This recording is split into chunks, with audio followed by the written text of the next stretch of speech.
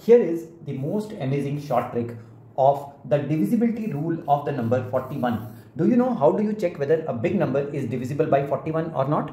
Watch this important video and watch the related video here which will show you the divisibility rule of all numbers up to 99. So watch that video. Now the divisibility rule of 41. Suppose I have to check whether the number 28167 is divisible by 41 or not.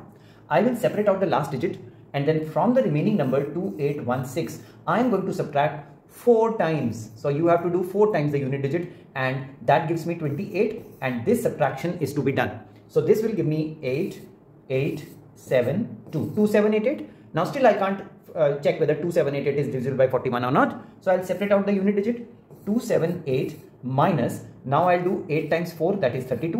What does that give me? It gives me 6 and then a 4 and then a 2. Separate out the unit digit once more.